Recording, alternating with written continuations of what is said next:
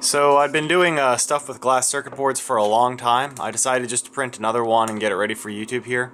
Uh, so on this one I have an ATtiny and a bunch of these uh, 7400 series parts with 20 milliamp limited output so I don't need any resistors to run these LEDs. I decided to make four 7 segment displays. I'm going to turn this into a clock eventually. Uh, right now though um, I unfortunately just burned out the, uh, the ATmega on here that has the clock, clock, clock crystal on it.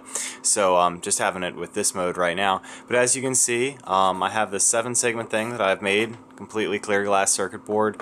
And uh, right now you can control the brightness by uh, by adjusting the um, the voltage of the power supply here. So if I turn it down, it gets really dim. I can turn it up, it gets really bright. And uh, that's what I'm working on.